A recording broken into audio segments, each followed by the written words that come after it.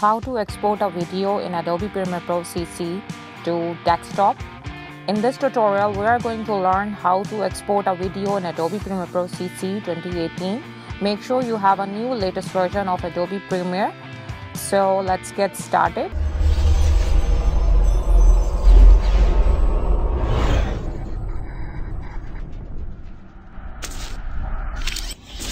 How to export a video in Adobe Premiere Pro CC to desktop. Uh, in this tutorial explores the export options in Adobe Premiere Pro CC. So we will see these options to share our creative work to media file. So let's get started.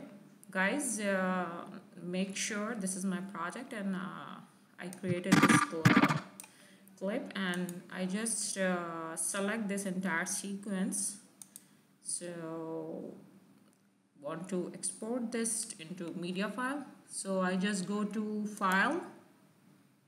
I want to export uh, a video file so very easily we can export in Adobe Premiere Pro CC 2018 so we just go to export media control plus M uh, shortcut key in Windows and command M in Mac.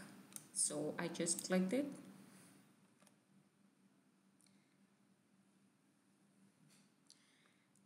guys you see in the this is the export setting dialog box is open. So we're going to choose uh, this format H20 264 uh, 264 the, the actually this is the most popular codec uh, using for distribution of media. And I use this mostly I use this and uh, is a very good quality. We, we get a very good quality output of file media file. So so guys uh, in the preset you see the match source high bitrate option.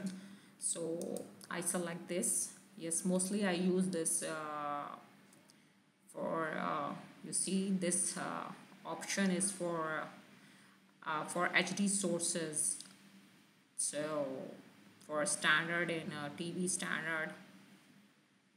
And uh, you see uh, high bitrate output for HD sources frame sizes frame rate field order pixel aspect and guys you see uh, look at here.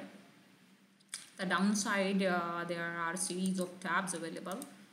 Uh, effects I'm not going to touch this but we go uh, concerned about this video. I just close this uh, video.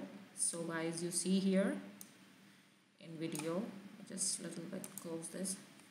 In uh, under the video tab uh, the match source option actually this uh, uh, the width and the height we just grayed out. This automatically uncheck grayed out before. So I just uncheck these boxes to change this is the actual source size and uh, the frame rate and if you uh, mm, go to downside I just select this CBR 242 for best quality. And uh, this uh, setting is okay. Uh, this one is uh, actually the match source of our output. And the audio panel audio tab this one is okay multiplexer is using in the uh, this codec H264 captions and publish publish means we can directly export to a file media file to Adobe Behance uh, Facebook Twitter, Vimeo, and directly to YouTube also. So under the export setting, you see here this uh, blue box. I just click here because actually this is the, if we click here, this uh, uh, this is the, you see below location of the file where we save our file. So mostly I uh, export this file in my desktop.